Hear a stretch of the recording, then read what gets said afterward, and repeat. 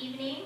The first is our intermediate strings ensemble. These students are made up of sixth graders who most of them have been playing for two years. Please enjoy our first selection titled Cinnamon.